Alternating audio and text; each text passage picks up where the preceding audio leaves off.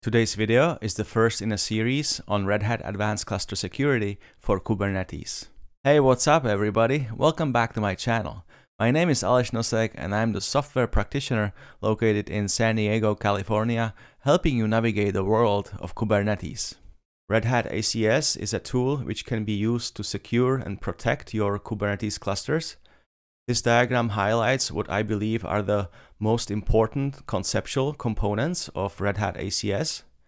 In this video, I'm going to walk you through these components and I'm also going to show you where they can be found in the Red Hat ACS UI dashboard. Let's focus on vulnerability scanning first. Vulnerability scanning in Red Hat ACS is divided into three areas. Number one, Red Hat ACS scans the container images which are used in deployments running on top of Kubernetes clusters. Number two, Red Hat ACS scans select components which are deployed on Kubernetes nodes. These components are the Linux kernel, kubelet, kubeproxy, and also the container runtime like containerd or CRI-O. Note that the current version of Red Hat ACS, the version 3.74 does not scan the file system of Kubernetes nodes. Instead, Red Hat ACS uh, looks up the versions of select node components by making a call to Kubernetes APIs. And here at the bottom in the node info are the versions of uh, Kubernetes components that Red Hat ACS then matches against the data in the vulnerability databases. In the near future, Red Hat ACS will be able to scan the file system of Kubernetes nodes. I've seen in the Red Hat ACS GitHub repo that the work on this feature is well underway. The last area scanned by Red Hat ACS is the platform. By platform, we mean that Red Hat ACS can detect vulnerabilities that affect the components of the Kubernetes control plane. And for that, Red Hat ACS queries the Kubernetes APIs to find out the version of the Kubernetes cluster.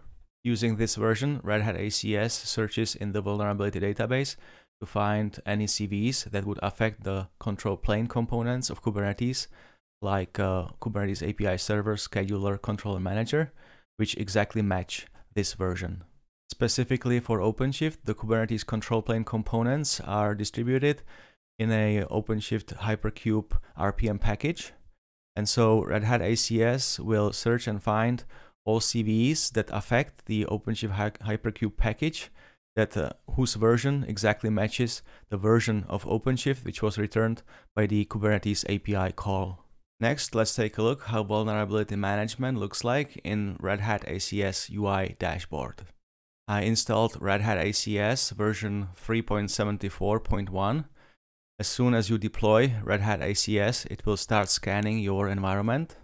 Results of image vulnerability scanning can be found in the vulnerability management dashboard. And here under CVEs, you can find the image CVEs, node and platform CVEs, which were detected by Red Hat ACS so far. Let's take a look at the image CVEs. As we can see, Red Hat ACS detected 576 CVEs that affect the images that are deployed on our Kubernetes clusters. That is a lot of CVEs. Before we start reviewing individual CVEs, we would like to order them based on their severity. And for that, we can either order our CVEs based on the severity column or based on the CVSS base score column. The value in the severity column is directly derived from the severity which was assigned to the vulnerability by the distributor of the affected component. For example, the first CVE in this list affects a Debian component. And if we take a look at the Debian security tracker, we will realize that Debian assigned an urgency of unimportant to this uh, vulnerability. And based on this, uh, Red Hat ACS is showing that the severity of the CVE is low. In the case that the distributor doesn't provide a severity rating for a given vulnerability, then Red Hat ACS will take the CVSS base score and directly convert it into severity. I find the severity provided by the distributor to be a uh, more accurate measure than the CVSS base score, and that's why I prefer to order my CVEs in the order of the severity column, and I do analyze them in this order. The sorting based on the CVSS base score column can come handy in situations like, for example, PCI DSS. If you want to be PCI DSS compliant, then you are supposed to resolve vulnerabilities with the CVSS score which is higher or equal to 4. Uh, in which case, uh, you will want to sort your vulnerabilities based on the CVSS base score column and analyze them in that order. Red Hat ACS automatically scans all images which are used in deployments on your Kubernetes clusters. And by deployments, I mean that Red Hat ACS watches the Kubernetes kinds like pod, replica set, deployment, stateful set, daemon set, job, and cron job.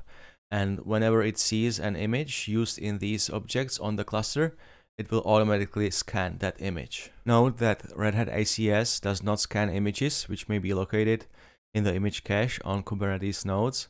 And also Red Hat ACS does not connect to a registry and in bulk scan all the images which are in there.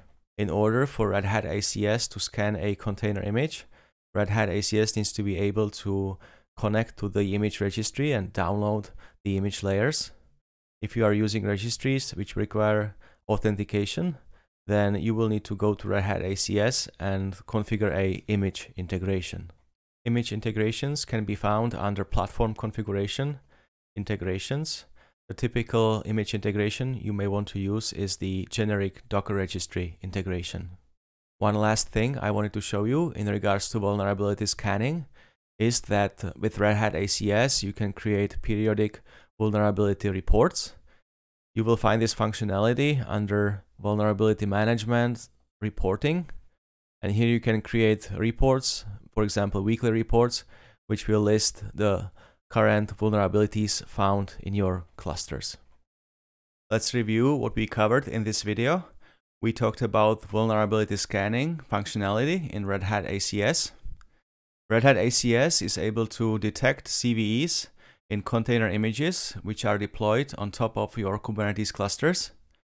Red Hat ACS can also detect CVEs in select components on Kubernetes nodes. And Red Hat ACS is able to find CVEs which are affecting the Kubernetes control plane. Next, I showed you how we can use the severity column in Red Hat ACS to prioritize the CVEs for your analysis.